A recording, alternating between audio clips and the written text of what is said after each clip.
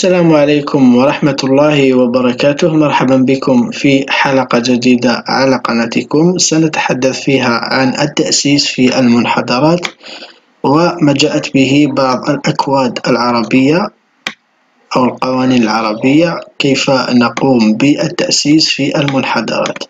أتمنى أن تبقوا معنا إلى نهاية هذه الحلقة وأن تشتركوا في القناة إذا كانت هذه المرة الأولى التي تشاهدون فيها فيديوهات القناة. وقبل أن نبدأ لا تنسوا أن تصلوا على رسول الله. فاللهم صل وسلم على نبينا محمد. إذا بالنسبة للتأسيس في المنحدرات هنالك طريقتين يمكننا اتباعهما. طريقتين أساسيتين.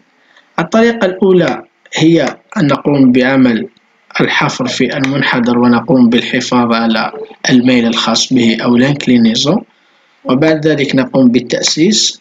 طبعا التأسيس لا يكون بهذا الشكل يعني مئة بالمئة لأن الأساس يكون داخل التربة لا يأتي هكذا. نترك له منطقة لكي آه، منطقة لبر أو منطقة حرة. هذه الطريقة الأولى أو أما الطريقة الثانية فهي أن نقوم بعمل لتيراسم أو أعمل الحفر ونقوم بالحصول على أرضية هكذا.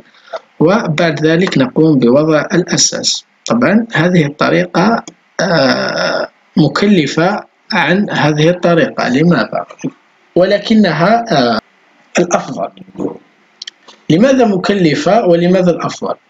مكلفة لأننا آه، سنخسر مال إضافي في أعمال الحفر. لأننا سنقوم بنزع كل هذه الكتل ونقلها إلى آخره. والنقطة الثانية هي أننا نقوم بوضع جدار استنادي في الجوانب والجدار الاستنادي باهظ الثمن. هذه السلبيات الخاصة بهذه الطريقة. أما الإيجابيات فهي عندما نقوم بنزع هذه التربة ف سيمكننا أن نصل إلى التربة الجيدة يعني التربة هنا تكون جيدة مقارنة بالتربة السطحية في غالب الأحيان. أما الطريقة الثانية فعندما نقوم بالتأسيس في المنحدر فيجب الحذر ويجب أن نتخذ الكثير من الإجراءات وكذلك ننتبه إلى بعض الأمور. أهمها الميل الخاص بال منحدر وكذلك البعد بين كل أساس وأساس. لذا فلو نذهب إلى بعض الأكواد العربية وهو يعني نبدأ بالكود الجزائري أو ال DTR هذه النسخة.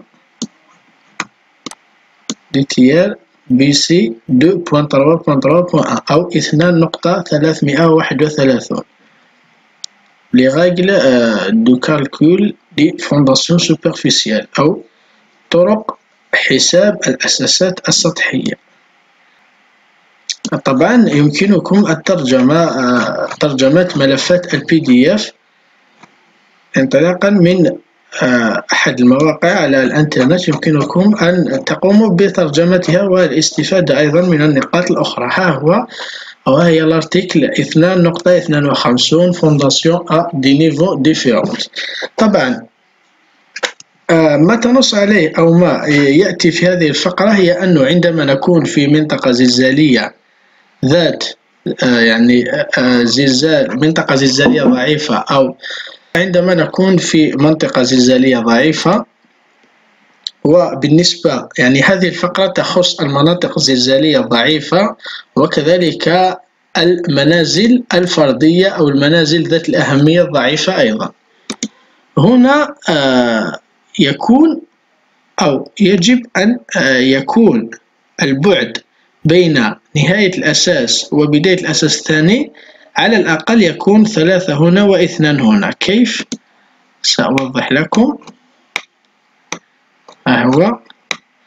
عندما نذهب إلى نهاية هذا الأساس وبداية هذا الأساس يجب أن آه، يكون على الأقل لابونت تكون يعني على الأقل لا يجب أن يتجاوز أو تكون يكون الميل الخاص بالمنحدر أربعة وثلاثون درجة يعني ثلاثة متر هنا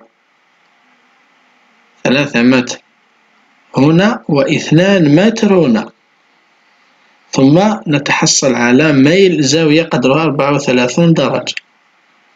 يعني الارتفاع أو الميل الذي يعني ينتج عن الأساسين نهاية الأساس وبداية الأساس لا يجب أن يتجاوز الأربعة والثلاثون درجة. أتمنى أن تكون الفكرة قد وصلت. وسأتأكد منها انطلاقا من هذا السؤال. أجيب عليه في التعليقات أتمنى أن تجيبوا عليه. مثلا قمنا بالتأسيس هذا الأساسين. ووجدنا أنه على بعد 2.5 متر من هنا و2.5 متر في الارتفاع يعني زاوية قدرها 45 درجة. هل هذا مسموح أو غير مسموح؟ أتمنى أن تجيبوا علي في التعليقات لكي أتأكد أنه فهمتم هذه العلاقة. هذا كما قلت بالنسبة للكود الجزائري. أما هنالك أحد الفقرات التي وجدتها على مواقع التواصل الاجتماعي وأعتقد أنه الكود السوري فهنا قاموا ب أتمنى من المتابعين أن يؤكدوا لي أيضا أن هذا الكود السوري فأحبائي هنا ماذا يقول لك؟ العلاقة بين فرق منسوب التأسيس والمسافة الأفقية بين أساسين متجاورين. هنا في حالة يعني هنا يقول لك أنه التأسيس أو الفرق بين الأساسين يكون حسب نوع التربة. وأيضا يتوجب أن لا يزيد فرق المنسوب بين أساسين متجاورين إلى المحدد في شكل ينسب عليه تجنب حدوث أي اضطراب في المنطقة المجهدة الفعالة تحت أي من الأساسين المتجاورين فهنا في حالة الصخر الأصم أو التربة الصخرية يمكن أن تكون المسافة صفر. يعني ماذا ماذا يقصد بأن x إيجال صفر أو يساوي صفر؟ يعني يمكن أن نضع أساسين آه، متجاورين هنا. X يساوي صفر. يعني في حالة التربة الصخرية. وهنا في حالة التربة المتماسكة البعد يجب أن يكون واحد متر على الأقل. أعتقد أنه هنا يقول لك على الأقل. على الأقل واحد متر.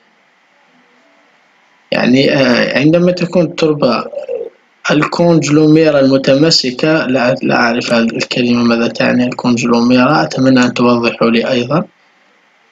فهنا يجب أن لا آه، يتجاوز متر واحد متر.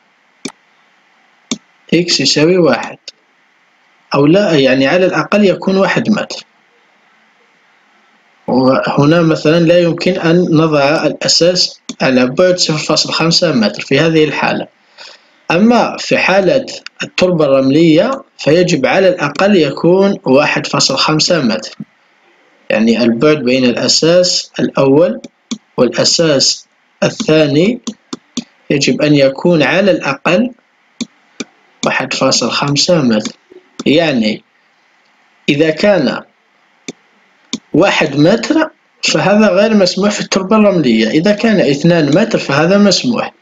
أما في حالة التربة الغضارية فالبعد يجب أن يكون على الأقل البعد بين الأساس والأساس يجب أن يكون على الأقل اثنان متر. على الأقل. يعني واحد فاصل خمسة غير مسموح في حالة التربة الغضارية. أما اثنان فاصل خمسة فهو مسموح. إذا كان هنالك مياه جوفية أو تجمع مياه سطحية فيلزم زيادة قيمة x عما ورد أعلى. يعني هنا في هذه الحالة يقول لك فقط x يعني البعد فقط. ويجب أن نحتفظ بالواحد بالارتفاع. يعني يجب أن هكذا فهمت. أنه الإكس يتغير حسب نوعية التربة أما الارتفاع فيبقى واحد. يعني ارتفاع الأساس عن الأساس يعني مثلا هنا اثنان على واحد هنا مثلا في حالة في هذه الحالة في هذه الحالة هنا هنا يجب أن يعني هنا لدينا زاوية خمسة وأربعون درجة. فهذا الكود هو أكثر آه، وضوحا من الكود الأول. آه، أحبائي أتمنى أن آه، تكونوا قد استفدتم نوعا ما من هذه النقطة. أي أسئلة أي استفسارات أتمنى أن توضحوها في التعليقات. ولا تنسونا بخصوص هذا السؤال. وإذا أخطأت أيضا ذكرونا في التعليقات فليس هنالك من لا يخطئ. فالهدف هو توصيل المعلومة وإفادتكم فلا تنسونا بصالح دعائكم. إلى هنا نكون قد وصلنا إلى نهاية حلقة اليوم. نلتقي في الحلقة المقبلة إن شاء الله. السلام عليكم ورحمة الله وبركاته.